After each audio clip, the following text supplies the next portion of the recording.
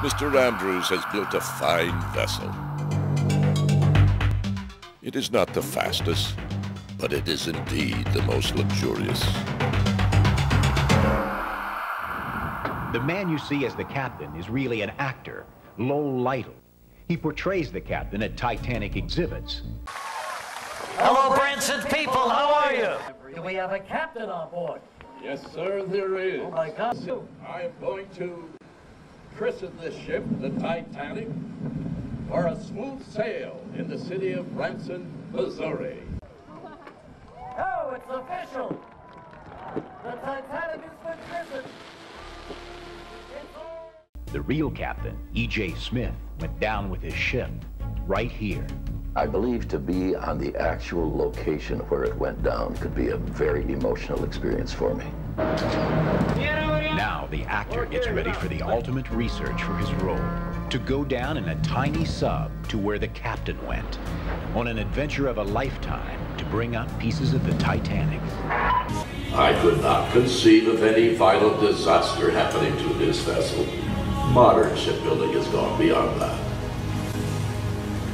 That speech that I just gave you, word for word, was the last speech the captain ever gave. And I stayed focused on picking up artifacts and not get emotionally involved for about an hour. But when you see a shoe, and you see a hat, and you realize what took place, everything's scattered all over, and 1,500 lives went into eternity that quick. And I opened the door, and the men went over, and they hugged their wives, and the women were crying. They got their money's worth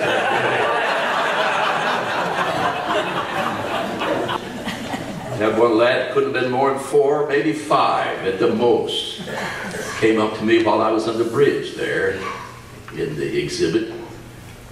The mother said, you want to shake the captain's hand? And he nodded his head. He came up, he shook my hand. She says, can you find his picture over in the wall? He walked over of all the officers, pointed, looked at me, looked back. He looked at me and he said, did you die? I said, yes. He came over and wrapped his two little thin arms around my legs. And he said, I love you. And I'm going to miss you. And he said, I'll see you at the cemetery. People that were had great plans, and when they got to New York, everything's going to be wonderful.